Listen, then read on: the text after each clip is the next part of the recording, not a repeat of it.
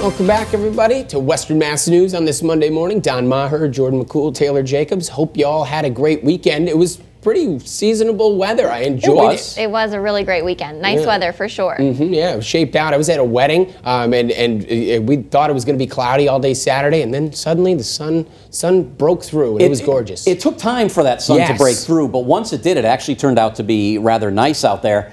I wish I could say the same for today, though. Mm. Yeah, not going to be the greatest start to our work week. Though I think the steadiest of the rain is going to fall this morning. As we get on into the afternoon, we'll deal with some drizzle, perhaps some showers, some areas of fog. So the day is not going to be a washout. But if you are getting ready to head out the door this morning, you're going to want to grab that umbrella because we do have some light, even moderate rainfall that is moving through. Right now, we're coming in at 44 here in Springfield. The winds currently out of the east at 5 miles per hour. We'll see winds east northeasterly at around 3 to 6. So the wind's really not going to be too much of a factor as the day goes on. But you can see temperatures Western Mass 30s and 40s, 42 Great Barrington, 41 Pittsfield, 43 in North Adams, mainly in the 40s throughout much of southern New England. The exception, Chatham out on the Cape currently coming in at 51 degrees. So a damp start to our work week. Also to watch for a little bit of fog that may develop as the day goes on. Now we'll see a cold front come through tonight. That will bring the chance for some showers, and then after midnight, we'll begin to gradually dry things out. Tuesday, Wednesday look dry. There may be a spot shower around here tomorrow, but for many of us, I think it is going to be a dry day.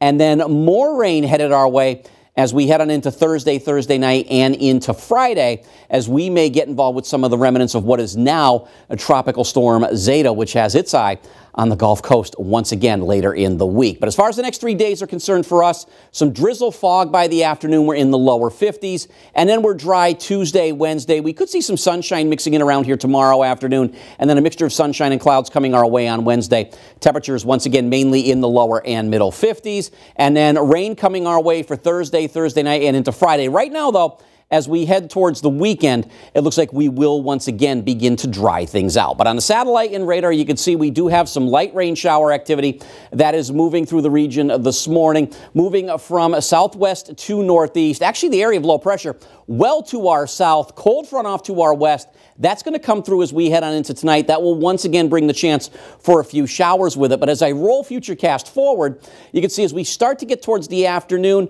we're dealing mainly with just some clouds, drizzle, perhaps a few showers. There will be some dry times in here as well. So the day is not a washout. In fact, here's the evening commute. You can see really not picking up on much on Futurecast. The chance for showers will exist though as we head through tonight as that cold front begins to approach. But after midnight, we should begin to dry things out. Mainly cloudy skies coming our way on Tuesday. Looks like we will work in some breaks of sun.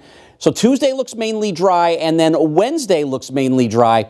And then things will get interesting as we head towards the end of the week, as it looks like a soaking rainfall could be headed our way with the remnants of Zeta approaching. And as that system works through, it is going to pull down some colder air as we head through Thursday night into Friday.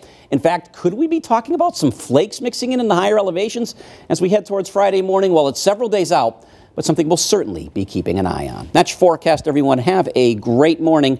Jordan, Taylor, back over to you.